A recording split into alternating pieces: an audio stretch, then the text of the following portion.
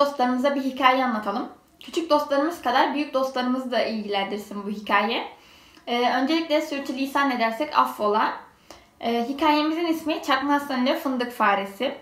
Ee, fındık faresi Kıtır, e, ormanların kralı Aslan'ı düştüğü tuzaktan kurtardıktan sonra mühim bir dokunulmazlık elde etmişti. Artık tilki ve kurt yanına bile yaklaşmıyordu. Ee, tüm alıcı kuşlar da onu av listelerinden çoktan çıkarmışlardı. Kıtır da bu emniyet ile bir ağaç kovuğunda ailesiyle beraber yaşamaya devam ediyordu. Ee, o gece Kıtır tam evinin kapısından dışarıya çıktığında bir de ne görsün? Ee, bir tane kurnaz tilki evlerinin kapısının önünde pusu kurmuş evden çıkacak birisini bekliyor. Kıtır bunu görünce hemen içeriye giriyor ve e, ailesini ve çocuklarını e, evin gizli bir yerine yaptığı sığınağa gönderiyor. Daha sonra kendisi de dışarı çıkıp etrafı gözlemeye başlıyor. Daldan dala e, koşuyor. Daha sonra ileride bir kurdun tavşan pomponu yakalayıp dereye doğru koşmaya başladığını görüyor. O da arkalarından dereye doğru koşmaya başlıyor. E, tam o esnada kurt tavşan pomponu kendi yuvasına getirmişti. Hemen kurda sesleniyor. Hey azgın kurt utanmıyor musun karnında yavrularını taşıyan bir hayvanı avlamaya? Aslan kral bunu yasaklamadı mı? Kurt bir anda karşısındaki ağaçta kendisine bağıran küçük kıtırı görünce şaşırıyor. Hey sen kim oluyorsun da bana kafa tutuyorsun? Duymadın mı? Aslan kral yeni bir genelge yayınladı. Bundan sonra herkes başının çaresine bakacak. Peki diyelim ki kral böyle bir şey yaptı. Peki senin vicdanın bunu kabul ediyor mu? Birisi senin eşin hamileyken gelip ona avlası sen ne düşünürdün? Bu senin vicdanını kanatmıyor mu? Bir de Adalet Bakanlığı yaptın. Utan, utan. Kurt bu sözler üzerine tavşanı bıraktı. Kurdun gözlerinden yaşlar gelmeye başlamıştı. Eliyle tavşanın başını okşayıp özür diledi. Ve Kıtır'ın olduğu ağacın önüne geldi. Hey Kıtır, senden çok özür dilerim. Aklıma başıma getirdiğin için teşekkür ederim. Bu küçücük düşseninle bana karşı gelip gerçeği korkmadan yüzüme haykırdığın için seni cesaretinden dolayı tebrik ediyorum. İyiler de kötüler kadar cesur olmalı. Sen çok iyi bir hayvansın. Ancak şu anda ormanda kargaşa var. Bu hayra alamet değil. Aslan kral böyle bir şey yapmaz. Gel beraber bu işi bir araştıralım. Kurt kardeş, bence de bu işte bir alavere dalavere var. Aslan kral böyle bir şey yapmaz. Gidip bakalım. Kurt Kıtır omzuna aldığı gibi aslanın otağına doğru koşmaya başladı. Aslanın yaşadığı yere geldiler. Kurt olanları önce uzaktan takip etmek istediğini söyledi. Kıtır da bunu onayladı. Ee, Aslan kralın evinin önü pislikten görünmüyordu. Ortalıkta hayvan leşleri, onları didikleyen kargalar vardı. Hayvan sesleri kulakları tırmalıyordu. Kralın kapısında da iki tane tilki muhafızlık ediyordu. Hey kurt kardeş, ben görünmeden aslan kralın yanına gideyim. Sen dışarıda bekle. Bakalım içeride neler dönüyor. Vallahi ben de sana bunu teklif edecektim. Sen görünmeden içeri gir ve neler oluyor bir öğren. Ben de seni gözlerim hem de etrafı kolaçan ederim. Kıtır gizlice otağa girip Aslan Kral'ın tahtının altına girmeyi başardı. Aslan Kral o esnada divanı topladı ve başladı nutuk çekmeye. Değerli vezirlerim, artık yeni bir dönem başlamıştır. Artık güvenlik işlerini Türkiye bıraktım. Benim avlarımı da Akbaba yakalayıp getirecek. Timsah'ı da Adalet Bakanı yaptım.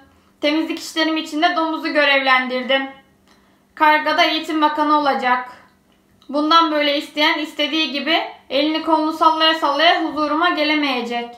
Randevu almadan kimseyle görüşmeyeceğim. Ben koskoca kralım. Randevu işleri için de Katır'ı görevlendirdim. Kıtır duyduklarına inanmıyordu. Birden kendini kaybedip bulunduğu yerden bağırdı. Bunlara devlet işleri teslim edilir mi? Siz kafayı mı yediniz? Türkiye kümesi mi devrediyorsunuz? Akbaba size leşten başka ne getirir? Ya domuz gibi pis bir hayvan size nasıl hizmet eder? Oysa aslan yattığı yerden belli olur derler. Hele timsahtan adalet bakanı mı olur? Eğitim işleri de kargaya kaldıysa vay halimize. Aslan kral sesin nereden ve kimden geldiğine bakmadan bağırdı. Bana işi bilen değil. Ben şunu yap deyince onu şak diye yapacak hayvanlar lazım.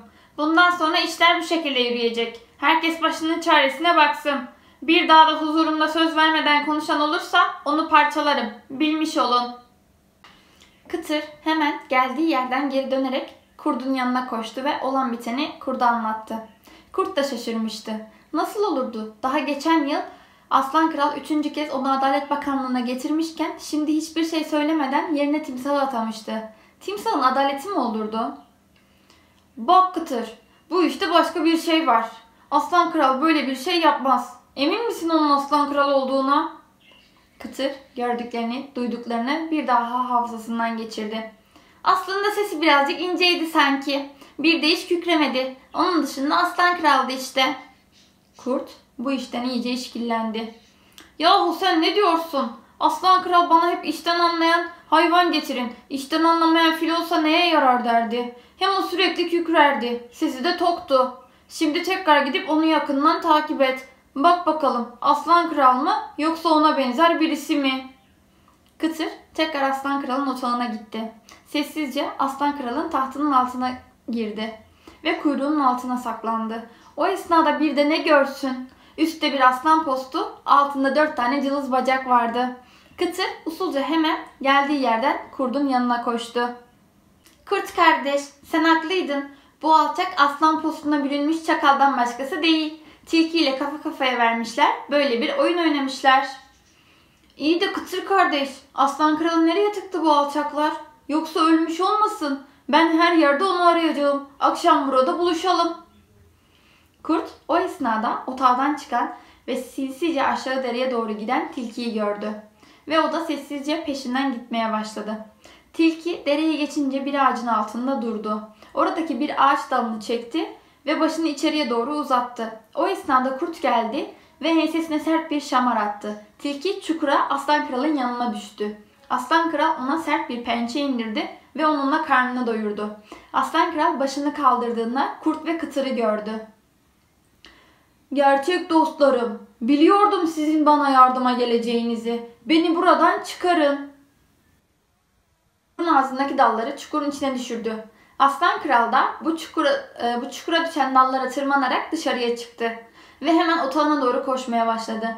Sırtına kıtırı alan kurt da ardından koşmaya başladı.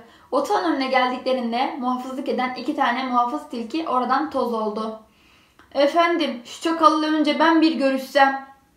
Aslan kral bu teklifi kabul etti. Kurt direkt otağa daldı. Çakal tilkiyi beklerken karşısında kurdu görünce şaşırdı. Sen randevu almadan pat diye nasıl karşıma çıkarsın? Densiz. Ben koskoca kralım. Kimden randevu alacakmışım? Katırdan. Ulan sen kimsin de ben senden randevu alacakmışım? Ben koskoca kralım.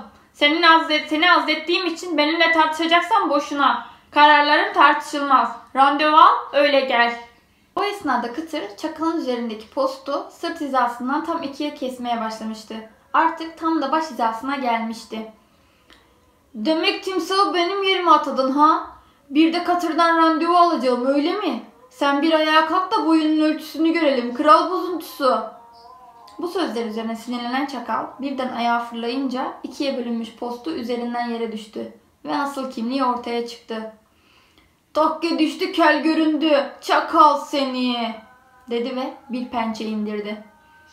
Çakal bir anda tahtın üzerinden yere savruldu ve aslan kralın ayaklarının önüne düştü. Çakal başını kaldırdığında aslan kralı gördü ve o dünya gözüyle gördüğü son görüntü oldu. Ee, bu esnada gökyüzünde beliren bir akbaba hızla çakalın leşini aldı ve gitti. Çakal da o çok güvendiği akbabanın nasibi olmuştu. Ertesi gün tekrardan divan kuruldu. Aslanın otağı da e, pırıl pırıl edildi. İşini bilen hayvanlar tekrardan işlerinin başına getirildi. Ve böylece hayvanlar aleminde rahat bir nefes aldı. Kıtır da eski hayatına kaldığı yerden devam etti.